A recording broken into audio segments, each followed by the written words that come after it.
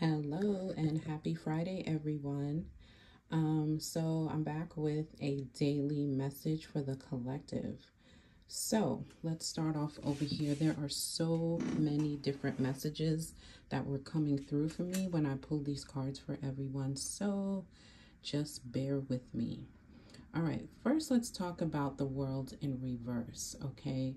And I feel like a lot of you are holding on to certain things you want to you want closure on things you want things to end you want to end a cycle but there's something holding you back from moving forward. Um,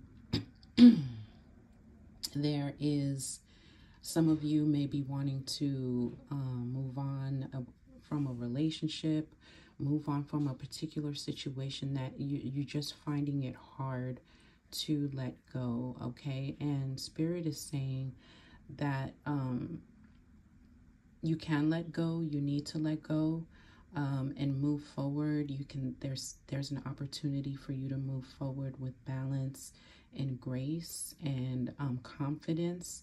To be confident, don't worry about what will happen if you let go, um, if something bad is going to happen, if things will change. Well, life is change.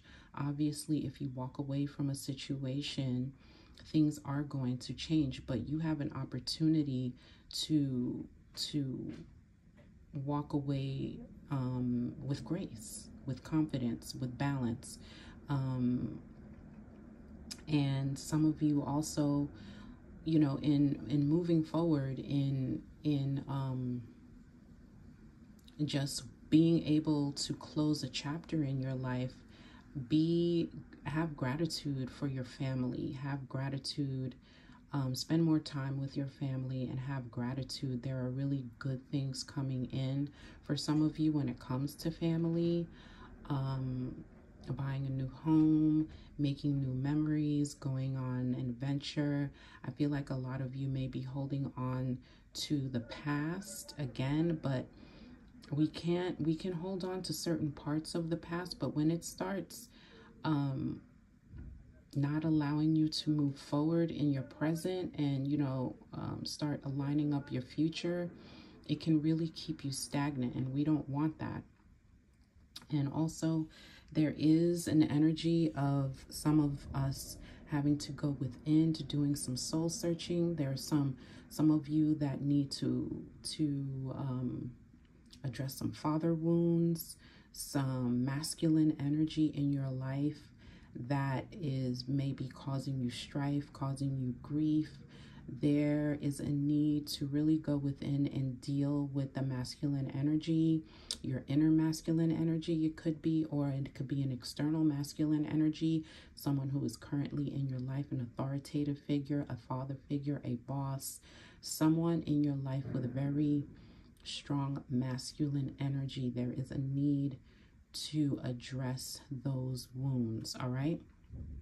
And, you know, the underlying energy, the overall energy is the temperance. You know, always do everything with passion, with purpose, but be patient. Be patient. Um, um, use the things that you have in front of you to to get what you need. Always move in balance. Always move um, with purpose. Again, um, the main theme for the temperance card is patience and purpose. So always move with purpose and be patient. Your things are coming into fruition. You are manifesting your your biggest desires. You just have to have patience. Do that soul searching, address that masculine wound, that father wound, whatever wound that is. Um, again, just recapping, spending time with your family, um, just knowing that you are very much supported by your family. All right. And some of you are holding on to past memories. I feel like of a passed on loved one, and they want you to know that um, they are there, you are supported, okay, and to let go of anything that doesn't serve you from your past. Allow chapters to close so that you can move forward. Okay, everyone? Have a beautiful day and have a beautiful weekend. Talk to you soon.